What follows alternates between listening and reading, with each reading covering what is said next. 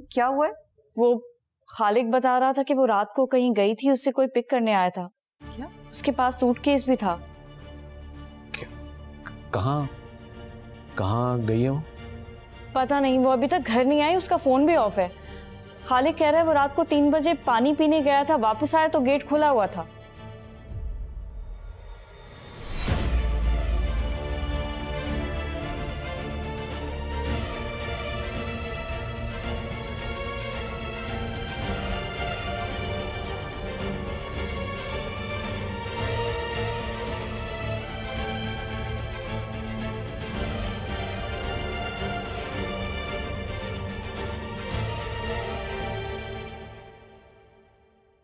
चली गई हम सबको रुसवा करके चली गई तुम्हारी बेटी। आप परेशान ना हो। मैं करती हूँ कुछ। ढूंढ कर लाती हूँ उसको कहीं से। क्या फ़ायदा? कोई भी इज़्ज़त अब वापस नहीं आ सकती। उसने जो स्याही हमारे मुँह पर मल ली थी मल दी। मैं उसे कभी माफ़ नहीं करूँगा शीना।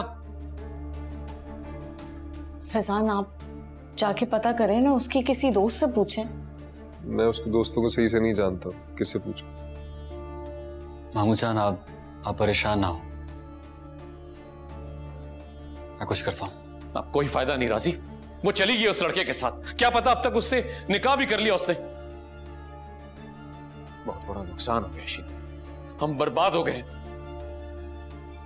मामू जान अब मैंने कहा ना आपसे कि आप बेफिक्र हो जाए। मैं कुछ लिंक्स निकालता हूँ। उसके दोस्तों का पता करता हूँ। अगर मुझे ज़रूरत पड़ेगी तो मैं पुलिस के पास भी जाऊँगा। तुम्हारा दिमाग खराब है क्या? तुम जानते हो पुलिस में इन्फॉर्म करने का मतलब?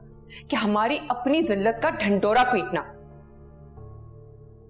हाँ तो इसके बगैर कोई हल भी तो नहीं है? सफदर के स्टेटस की वजह से कोई भी लालच में आके ये सब कुछ कर सकता है।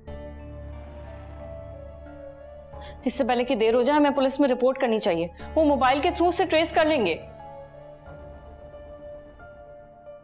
हाँ, तुम तो यही चाहती हो ना कि मेरी बेटी और हम लोग पूरे शहर में बदनाम हो जाए। ऐसा क्यों चाहूँगी आंटी? अपने मशवरे अपने पास रखो हाथी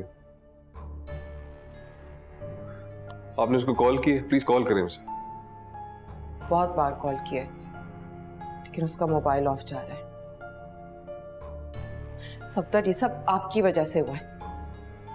अगर आप उसको राज़ी से शादी के लिए ना इंसिस्ट करते ना तो वो घर छोड़ के ना जाती। अगर मेरी बेटी को कुछ हुआ ना तो मैं कभी भी माफ़ नहीं करूँगी। आपको कि बहन और भांजे को।